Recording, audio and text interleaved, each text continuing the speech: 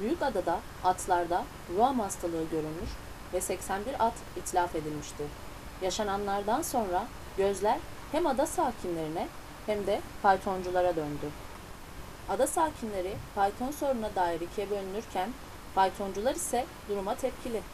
Buradaki paytoncuların tamamı tamamen emekçi insanlar. Kendi ekmeğinde, işinde, gücünde. Hepsi aile sahibi, çocuk çoluk sorumluluğu taşıyan insanlar. Benle ilgili de öyle şeyler söylendi. İşte mafya e, bozuntusu oda başkanı, mafya e, paytoncular. İşte sizin de gördüğünüz gibi e, bu insanlar. Böyle bir mafya grubu varsa ben onu bilmiyorum Türkiye'de. Mafyayı bilmiyoruz daha doğrusu. Tanımlamasını bilmiyorum. Açılımı nedir onu bilmiyoruz biz. O derece uzağız biz o işte. Ee, ama o e, editör arkadaşın sanıyorum Milliyet miydi, Gazet e, Hürriyet miydi?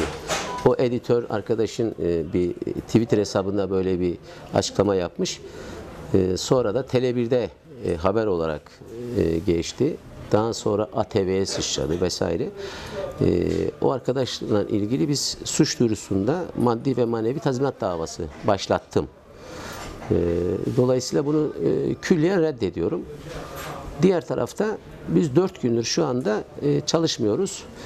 E, Ama e, Vali Bey 3 ay durdurma kararı aldı.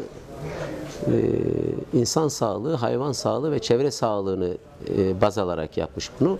Dolayısıyla hem Vali Bey hem ilçe kaymakamımız hem ilçe emniyet müdürümüz hem ilçe tarım müdürümüz hem Büyükşehir Belediye Başkanımız dört gündür bu işle ilgili çalışmalar devam ediyor. Meseleyi çözmek için onlar da uğraşıyorlar.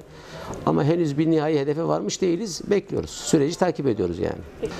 Bizim taleplerimiz e, hayatı sürdürebilecek bir gelir kapısının olmasıdır. E, o konuda e, Büyükşehir'le karşılıklı fikir alışverişlerinde bulunuyoruz. E, nedir, ne istiyorsunuz, ne veriyorlar noktasında şu an bir şey açıklamam doğru olmaz. Ama bir akarı olan, bir gelir kapısı olan bir istihdam yaratacak bir şey istiyoruz. Taleplerimiz var karşılıklı. Onların da bize teklifleri var. Bizim de taleplerimiz var. Ama bu netleşmeden bir şey söylemem doğru olmaz. Geriye kalan atlarımız gayet iyi. Zaten atlarımızın tamamı sağlık taramasından geçirildi. Hastalıklı atlar uyutuldu ve toprağa verildi. Gayet nizami bir şekilde İl Tarım Müdürlüğü'nün e, nezaretinde.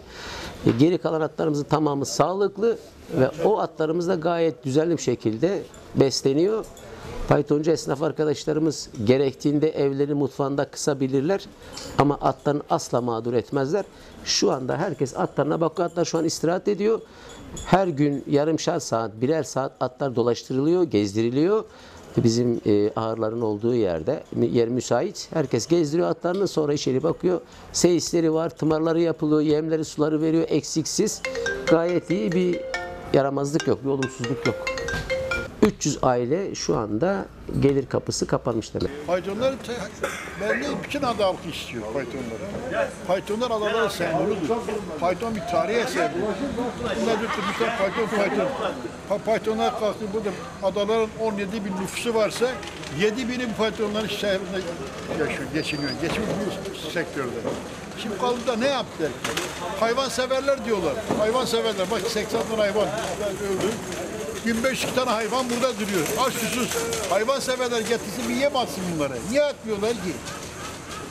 Kardeşim sen kendi misal vereyim. Sen bastın ayakkabıya, çelik yapıyor, kor gözüne bakar mısın?